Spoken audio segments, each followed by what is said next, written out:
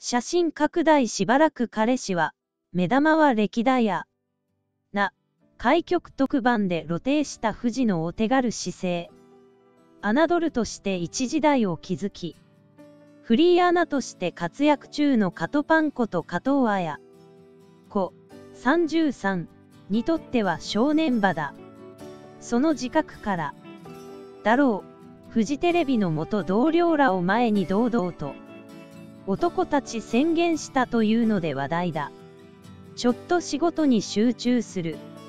しばらく彼氏は、いらないかな、とまるで自分に言い聞か、せるように話したそうです。これまで超モテ期を気分の赴くまま堪能してき、タカトパンです。もちろん男たちは初めての経験でしょう。関係者、カトパンが男立ちをしてまで願掛け。下の画境4月1日からフジテレビ系です。タートする報道番組ライブニュース I。T。月金16時50分の成功、すなわち、高視聴率祈願だという。カトパンは番組の顔となるメインキャスターに抜擢されたのだ。かつて古巣であるフジテレビの GP、ゴール、デン、プライム、帯の番組ではおなじみだった。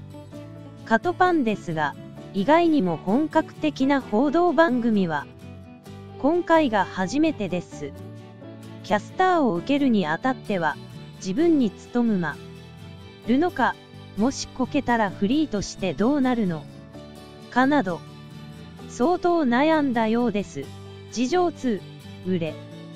こと呼ぶには程遠い悩むのも当然の話。かと。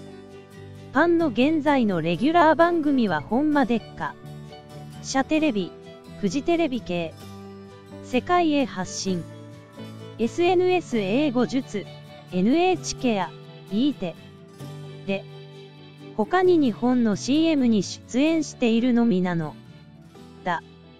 フリーになる前は争奪戦必至とメディアに持ち上げられていたが、いざ蓋を開ければ民放は古巣のフジテレビだ。け。正直、売れっ子と呼ぶには程遠い。この女タイでライブニュースイットが視聴率で大こけしたら、完全に他局から声がかからなくなります。レビ局編成関係者、もっとも、カトパンの、願掛けチャレンジ中の情報は富士上層部を大、喜びさせたという。同局の報道関係者にとって苦い記憶となって、るのが竹林 W 不倫事件。当時、報道のエースとして期待されていた秋元ゆりや、な、35はこの大未聞のスキャンダルで、キャスター生命を絶たれたからだ。キャスターの不倫系スキャンダルは本人だけ。でなく番組にも壊滅的な影響を及ぼします。真。用を失い、スポンサーからも敬遠されてしまう。カトパンはとにかく今も昔もよくモテる。キャ。スターを引き受けたはいいが、彼女がこの種のスキャンダルを引き起こさないという保証は残念ながらありません。